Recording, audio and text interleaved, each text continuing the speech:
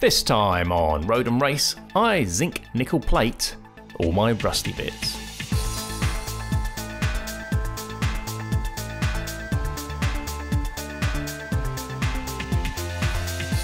Hello and welcome to another episode of Road and Race.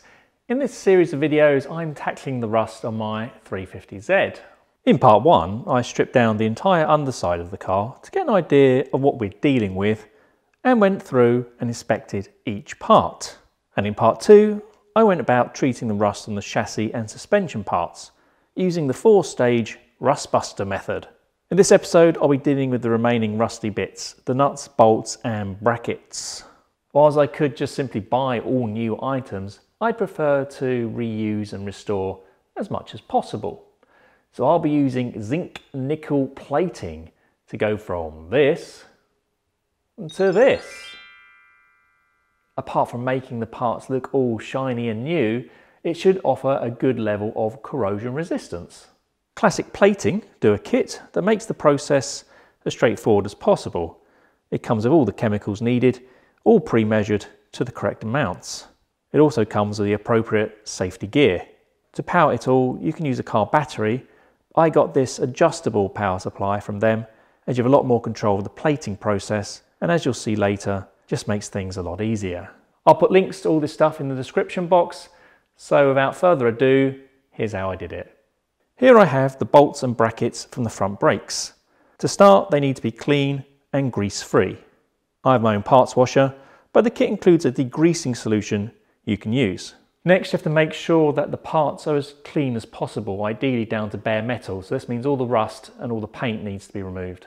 I used a grinder with a 40 grit flap disc for the brackets and a drill with a wire brush attachment for the bolts. Here's where it counts though. The cleaner you can get the parts now, the better the plating will be.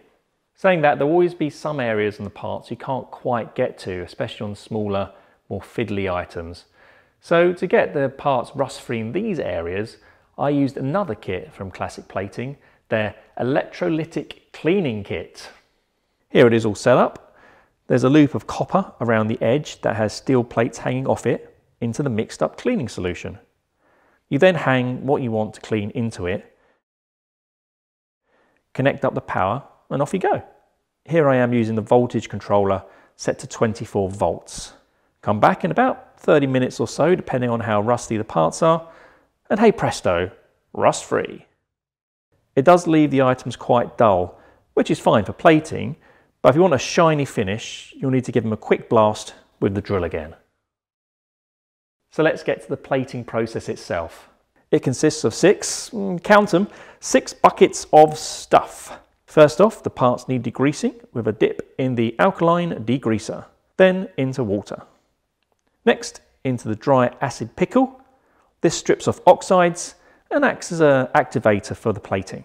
After two minutes, move straight into the electrolyte.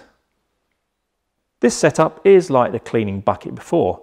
Copper wire around the edge, but this time we've zinc and nickel plates hanging off it. Now how much current do we need to set on the controller? Well, set it too high and it will plate too fast and you get a rough kind of dull finish. If you set it too low, then it'll work, it will just take ages.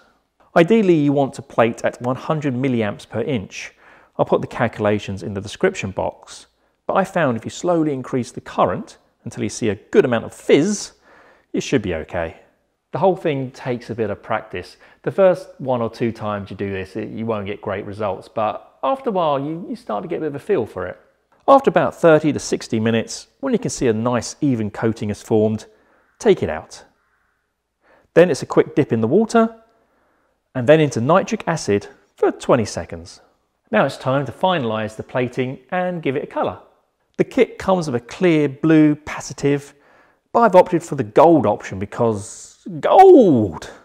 You can also buy a black or olive green finish, but as before I like the gold. Keep them in for 40 seconds, then a final dip into water, then leave them to dry. Now you can dry them with a hairdryer or if you want, you can even put them in an oven at 55 degrees centigrade. But I found if I just left them in my cold garage for a day or so, it was fine. And that's it. Now you have some nice shiny parts that should be protected against corrosion for many years to come. And as a final comparison, here's the before and after. As I said before, practice really does make perfect with this because there's a lot of variables you can experiment with. The instructions you get from classic plating are quite, quite thorough and um, you can really get quite nerdy kind of adjusting um, you know, tank temperatures and solution concentration and current strengths. So um, if you want to kind of really get into it, you really can. But for this video, I've really tried to simplify the process down to try and make it as quick and easy as possible. So that brings me to what's next in this series. As you may know if you've watched the previous videos, this series is primarily about treating the rust on the 350Z. But if it makes sense to do a few cheeky upgrades whilst the car's in pieces, then why not? So since the suspension is in pieces, now will be the ideal time to replace all the worn bushings and upgrade them to stiffer poly bushes. So here I have a control arm from the rear suspension and this rubber thingy here is the bushing and that holds the arm to the rest of the car. As the bushing is rubber, it's fairly flexible and that's good for day-to-day -day comfort when you're using the car as a daily driver.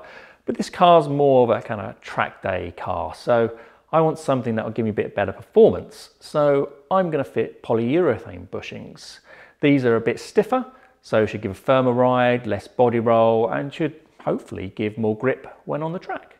I've got all the bushings for the car from Whiteline and to make the process of pressing them out and in again I've got this kit from Sealey. So in the next video I'll be pressing out all the old bushings and fitting new ones. I'll also be restoring all the suspension parts whilst I'm at it. For example this one's a rusty mess. Anyway, click here to watch the video when it's ready and as always thanks for watching.